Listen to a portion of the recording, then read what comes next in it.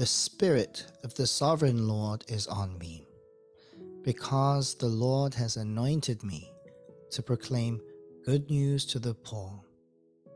He has sent me to bind up the broken-hearted, to proclaim freedom for the captives, and release from darkness for the prisoners, to proclaim the year of the Lord's favor and the day of vengeance of our God, to comfort all who mourn and provide for those who grieve in Zion, to bestow on them a crown of beauty instead of ashes, the oil of joy instead of mourning, and a garment of praise.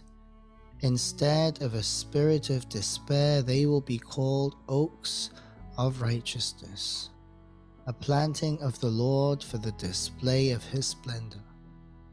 They will rebuild the ancient ruins and restore the places long devastated. They will renew the ruined cities that have been devastated for generations.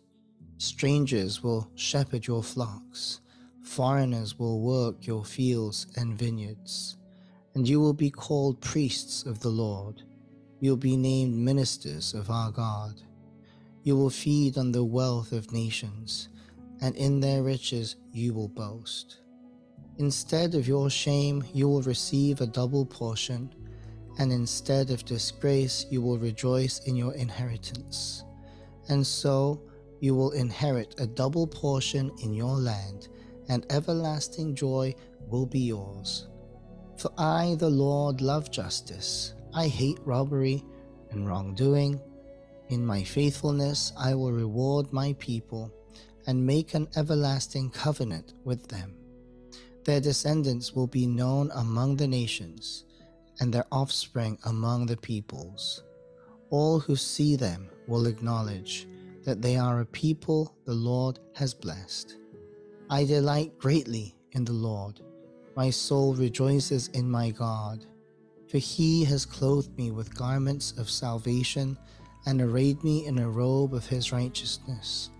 As a bridegroom adorns his head like a priest, and as a bride adorns herself with her jewels.